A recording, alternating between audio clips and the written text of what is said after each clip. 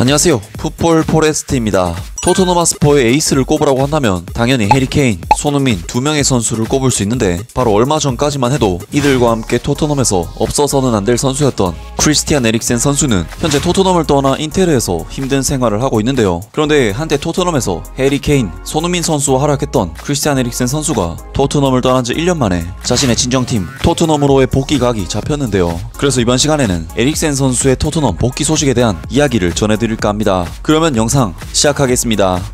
일단 에릭센 선수는 1992년생으로 포지션은 공격형 미드필더를 소화하는 선수입니다. 2013년 21살의 나이로 토트넘 홋스퍼에 입단했던 크리스티안 에릭센 선수는 토트넘에서 7시즌 동안 모든 대회 통산 305경기 출전, 69골, 89도움이라는 정말 엄청난 활약을 펼치면서 토트넘의 핵심 플레이메이커로서 팀의 몇안 되는 world class 선수로서 각광받았는데요. 하지만 2019-2020 시즌 그동안 트로피를 단 하나도 따내지 못하고 재계약 문제에서도 마찰이 많았었던 크리스티안 에릭센은 시즌 20경기 출전 2골 2도움 평점 6.51에 부진에 빠진 데다 수차례 재계약 거절 등 태업 논란까지 불러일으키면서 굉장히 안 좋게 인터 밀란으로 이적했었습니다. 하지만 에릭센 선수는 콘테 감독의 3백 그리고 중앙 미드필드 포지션에서 전혀 적응하지 못하면서 지난 시즌 13경기 출전 1골 2도움 평점 6.65를 기록 올 시즌에는 9경기 출전 0골 0도움 평점 6.34에 더욱 최악의 활약을 펼치면서 현재 인테르가 방출해야 될 1순위 선수로까지 그야말로 낙동강 오리알 신세가 되어버렸는데요.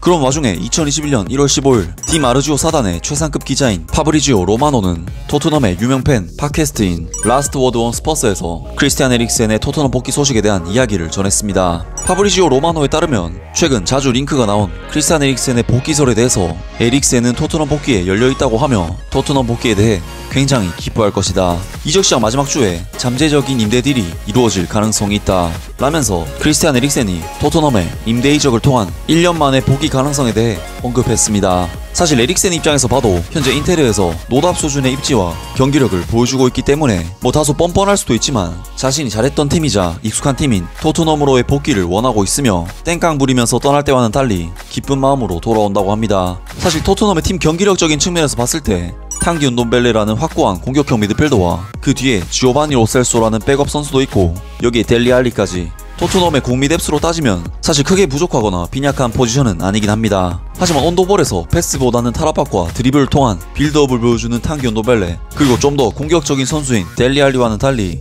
크리스티안 에릭센은 천부적인 패스 센스와 감각, 시야, 그리고 킥의 예리함과 정확성으로 찬스를 만들어낼 수 있다는 장점이 있기 때문에 현재 토트넘의 주력 전술인 선수비 후 역습 축구라는 단조로운 패턴에서 좀 더 창의성을 가져다 줄 수 있는 스타일이며 특히 요새 뒷공간 침투로 많은 재미를 보고 있는 손흥민 선수에게도 에릭센의 존재는 분명 도움이 될 것으로 보입니다. 하지만 역시 문제는 현재 심각하게 떨어진 폼과 토트넘을 떠날 때 보여줬던 그의 프로답지 못한 행동 등이 논란이 될 텐데요. 토트넘 팬들은 이번 에릭센 선수의 임대 소식에 어떤 반응을 보였을까요? 창의성 같은 게 좀 필요한데 은돈벨레를 제외하고는 아무도 볼을 전방으로 줄 수 없을 것 같다. 나는 꼭 에릭센을 원한다고 말하는 건 아닌데 누군가 필요해.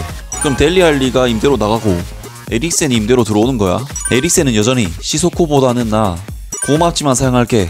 차라리 알리가 낫다.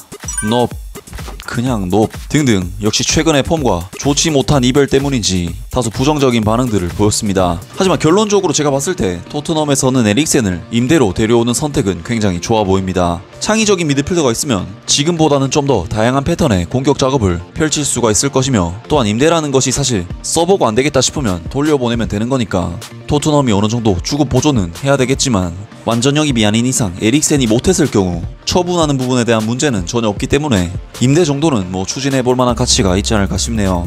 아무튼 오늘 영상은 여기까지고요. 영상 재밌게 보셨다면 구독과 좋아요 그리고 댓글 부탁드립니다.